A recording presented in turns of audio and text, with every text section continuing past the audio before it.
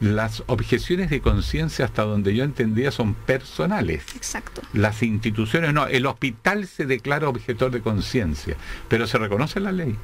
Se reconoce la ley. práctica. Se reconoce en la ley y de hecho hace, creo que en 2018 eh, se presentó un protocolo de objeción de conciencia por el Ministerio de Salud que fue bien polémico. Lo tuvieron que derogar porque eh, eso eh, no posibilita el acceso al aborto seguro y legal que se está estableciendo en la normativa. Entonces, claro, es súper, eh, y lo decía una de nuestras fuentes, eh, es súper extraño que exista una objeción de conciencia institucional.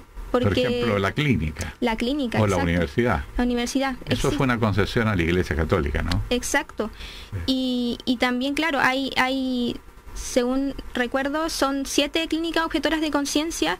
Hay algunas clínicas que están, eh, que son objetoras de conciencia en todas las causales, en las tres causales, mientras que hay otras que son objetoras de conciencia en causal 3, que es por resultado de violación. Mm. Entonces, es, es ahí también... eh, Resulta extraño también que, que una clínica tenga una objeción de conciencia institucional. Es, Claro. es no garantizar el acceso a la salud.